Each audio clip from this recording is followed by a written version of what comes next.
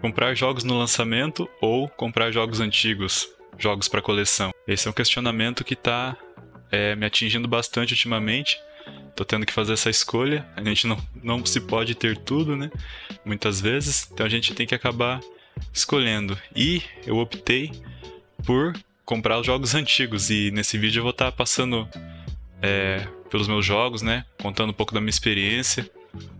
É, e dizendo por que, né, que eu faço isso, né? Tô cada vez menos aí pegando jogo no lançamento. Eu, alguns eu peguei, alguns recentes eu vou estar tá mostrando para vocês. Mas é algo que eu tô cada vez fazendo menos. Muitos podem até dizer que nenhum dos dois vale a pena, nem comprar jogos antigos, nem lançamentos, né? E essas pessoas não estão totalmente erradas. É, são é algo que sempre acaba surgindo, né? Essa essa fala do pessoal, né? Quando o assunto é coleção, né? Sobre ah, é por que você não baixa, por que você não emula e tal, não precisa comprar o jogo. E é, tem sentido sim, mas é, não, é, não se trata só de jogar, né? Na questão da coleção, a gente quer, pelo menos por mim, né?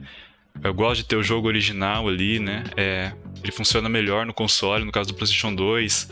É, o jogo pirata ali é ruim, né? Ele danifica o leitor e pode ser que trave numa parte na frente no jogo, né? Como aconteceu, como acontecia comigo antigamente. Não é um negócio você não tem a tranquilidade máxima ali, né? Que o jogo original oferece, né? Mesma coisa com o PL também, jogando Clonoa 2, por exemplo, chega no momento lá que o jogo congela e você tem que. É, eu não, não sabia como arrumar, né? Não soube, então eu parei de jogar. Mas depois eu fui ver que tem uma lista de compatibilidade que lá diz que você tem que ir lá no OPL alterar o modo lá, o, pro modo 3 e modo 6, alguma coisa assim lá, modo de compatibilidade, pro jogo parar de travar. Então não é suave, assim, aquela tranquilidade do jogo original, né? Que é perfeito ali. Nossa, um jogo de PS2 original que você coloca ali. Rapidinho ele já ele passa aquela intro bem rápido ali, não dá nem para aproveitar aquela intro do PS2. E funciona na hora, assim, muito rápido, né? Nunca dá problema. É, como o DVD, né? Piratão da época, ficava sempre naquela tensão, né? Ixi, será que vai funcionar? E às vezes não funcionava. E com o original ali, os jogos que eu tenho, nossa, é de primeira sempre muito rápido. Então, tem vários fatores aí que fazem eu é, comprar os jogos antigos, né? É esse fator aí de. É, é, comodidade seria também, né? Um pouco de comodidade ali de ter o jogo original que funciona melhor, menos chance de dar erro. Emulação de PlayStation 2, então, também dá bastante falhas nos gráficos, né? Dá probleminhas também, não é suave, não. Então, é por isso que eu ainda eu gosto de ter o jogo original, né? Também parece que é mais legal jogar assim, parece que a gente dá mais valor, assim, sabe? Por ter caçado o jogo, encontrado ali, comprado. A gente valoriza, parece que mais ali o momento com o jogo. Mas eu tô até desviando um pouco do assunto aqui, né? É, tô entrando um pouco mais no negócio de por que, que eu compro jogo antigo, né? Por que, que eu tenho coleção e tal. Pretendo aumentar a coleção. Mas vou voltar aqui pro tema principal aqui, que é os lançamentos, né? Um dos motivos que fez eu parar de comprar o jogo lançamento é a questão de que os jogos parece que é, passou a época de ouro, assim, sabe? Eles não tão tão bons assim, né? Igual era ali na, na sétima geração de consoles, na sexta. E é, todas as franquias assim famosas principais parece que o auge delas, né, o ápice já passou, então Need for Speed, Assassin's Creed, vários outros aí, Far Cry, Call of Duty mesmo, né, o Black Ops 2 lá era muito bom, o Black Ops 1 também, o Modern Warfare 2, aqueles, nossa, são muito bons aqueles jogos lá. E várias outras franquias aí, né, que eu poderia estar citando, jogos do Batman mesmo, assim, é, tudo já teve, parece que seu ápice ali no final dos anos 2000 ali, né? E até 2013, assim, tinha lançamentos muito bons, assim, bem fortes. Mas parece que veio decaindo, né? Hoje é difícil, assim, um jogo que faz jus ao PS5, assim, né? O hardware dele. Um jogo que você fala assim, é, esse aqui é top mesmo, né? AAA ali, usa bastante poder do console, não foi poupado recurso ali, o jogo bem ambicioso, né? que tá diminuindo muito isso, né? A ambição ali. Os jogos são sempre aquele mesmo padrãozinho ali que as empresas já sabem que, vão agradar, que vai agradar, né? Ela, pra elas, é, elas querem isso, né? Não querem se arriscar ali porque é perigoso, né? Porque hoje em dia é mais caro os jogos e mais demorado para fazer. Então, elas vão ali no que é mais garantido, né? De vender.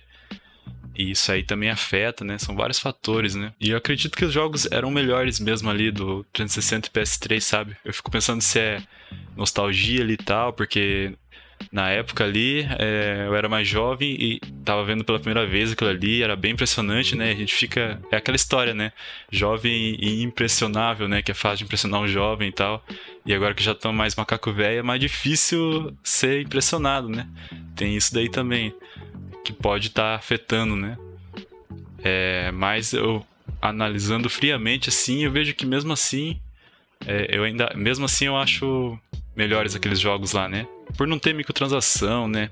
Lançar com tanto bug que nem é hoje, né? Tem várias justificativa racional, né? Sem ser o fator nostalgia, é, dá para elaborar bastante nisso aí. Mas o vídeo não é especificamente sobre isso, né?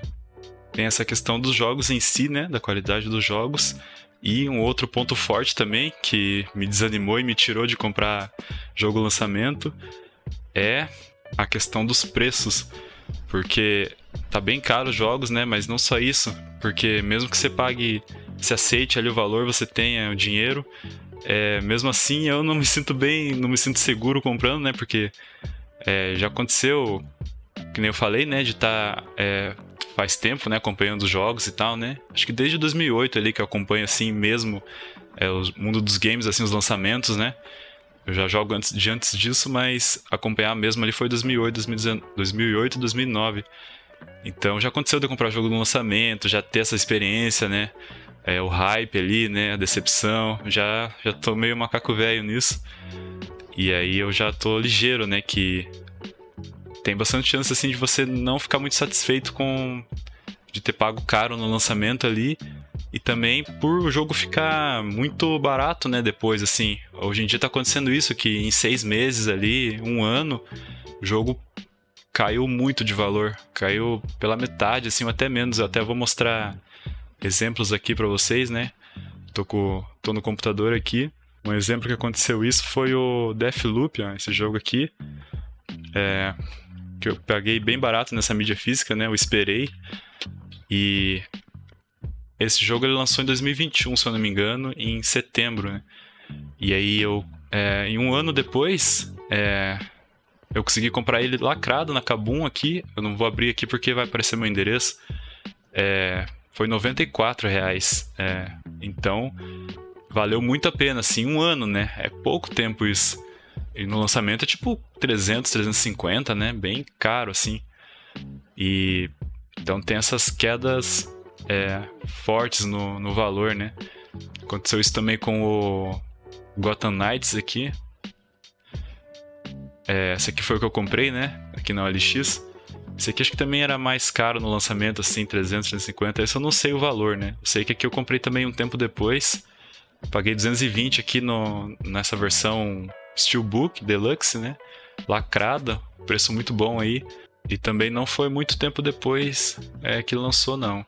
Essa versão aqui eu acredito que ela vai segurar o valor legal, porque agora já passou mais bastante tempo e eu tava vendo aqui a venda nessa versão aqui, só que usada, né? A minha era lacrado.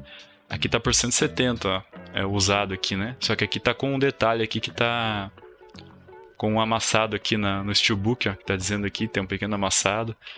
Então, é, esse aqui eu não me prejudiquei, né? Esse aqui foi bom ter pago esse valor aqui é, no jogo lacrado aqui, né? Essas edições aqui costumam segurar melhor o valor, né? E falando em edição especial, eu tenho aquela edição do Horizon Forbidden West, né? Aquela edição mais top ali, mais completa. Eu comprei no lançamento. Eu até comprei a versão PS5, mas eles não tinham lá, daí acabei pegando a versão PS4 mesmo, que tem o upgrade gratuito, né? E aí, esse jogo aconteceu que um ano depois ele saiu no serviço, né? Na assinatura do PlayStation. Então ali o cara paga 350 pau ali para jogar no lançamento e um aninho depois, praticamente de graça, né? O jogo ali para ser jogado. Então é meio não é um bom negócio, digamos assim, ponto de vista estratégico de dinheiro, né? Não é um bom negócio ficar comprando esses lançamentos, né? O Cyberpunk mesmo é um que. Então, isso eu tô falando de comprar no lançamento, né? Eu não tô nem falando de pré-venda. Pré-venda eu não faço mais de jeito nenhum. Pior coisa. a não ser que seja mídia física, que é perigoso você esperar muito e a hora que você for comprar perto do lançamento esgotar, né? E aí tem esse, esse perigo aí. Mas digital não tem esse problema, então. Jamais que eu faço pré-venda digital, porque eu ia falar do Cyberpunk, né? Que é, deu no que deu, né? Muita gente sabe aí da história. E o que acontece é que a mídia física dele é, despencou o valor, né? Eu tenho aqui, né? Muita gente tem, acabou comprando ali por 50 reais, 40. É, foi um bom negócio, né? Porque o jogo hoje já tá bem melhor. E mais um caso aí de que não valeu a pena ficar querendo comprar no lançamento e, e fazer pré-order, né? O problema é essa questão do hype, né? Essa questão social, né? Que a gente fica é, empolgado, ele quer jogar com a galera no lançamento, né? Ou no meu caso aqui, que agora é pior ainda, é canal, né? No canal a gente. É recomendado trazer jogo lançamento, assim, novo, né? O pessoal tá mais interessado, né? Então tem toda essa parte também aí, né? Mas na parte do hype, assim, de, de querer jogar no lançamento, meio que eu superei isso, sabe? Eu não tenho esse, esse desespero, esse hype, assim, para jogar coisa assim que lança, né? Mais essa questão de social, né? Esse negócio de. para poder participar das conversas ali, né? Quando o jogo tá lançando e tudo. E parte do canal agora, né? Isso aí pode ser que também é, mais pra frente eu mude por causa disso, né? E aí, em vez de comprar esses lançamentos, eu pessoalmente gosto de ficar aqui comprando os itens retrô, né? Os jogos antigos aqui, consoles antigos, né? Hardware, né? Eu tô bem de olho em hardware também. Eu já comprei ali os que eu queria mais, né? Que eram TVs de tubo, monitor, é, de tubo também, né? E os jogos, console e jogos, né? Acessórios também, controle bom, acessórios, né? Que seria controle, periféricos. Porque controle também pode ser que fique mais difícil de encontrar controles bons, né? Daqui para frente ou aumente o preço, né? Aí eu gosto de ficar aqui, vindo aqui aproveitar aqui os preços de PlayStation 2, aqui ó, Sonic aqui 90 reais, né? Só que esse aqui é europeu, Platinum. Aqui tá com bastante jogo japonês, né? Aqui teve época que aqui era muito bom, que eu aproveitei é, muito. Ó, aqui tem um Homem-Aranha 3 aqui. Esse jogo é meio raro, né? Meio caro aqui, quase trezentão. Tem Tomb Raider aqui, tá um pouco caro, 224. Mas tem coisa legal aqui, sabe? Mesmo agora que não tá tão bom assim, tem umas coisas bacanas, ó. Midnight Club 2 aqui, 134, ó. Jogo original de PlayStation 2. Nossa, é muito, muito bom. Eu gosto muito dos jogos de PS2, né? Pra colecionar e tal. Gosto da mídia física deles. Killzone aqui, 197, eu gosto bastante também da franquia. E do Killzone 1, gostei bastante também de ter jogado.